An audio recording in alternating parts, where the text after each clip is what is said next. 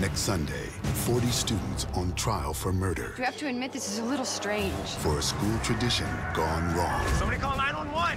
This band has been doing this initiation thing for 50 years.